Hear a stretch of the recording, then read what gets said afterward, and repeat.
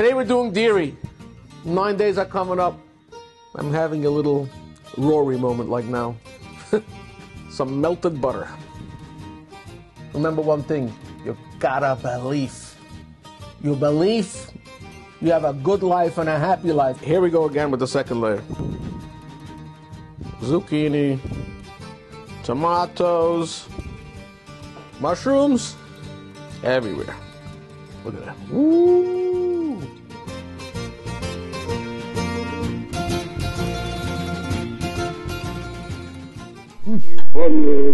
Family.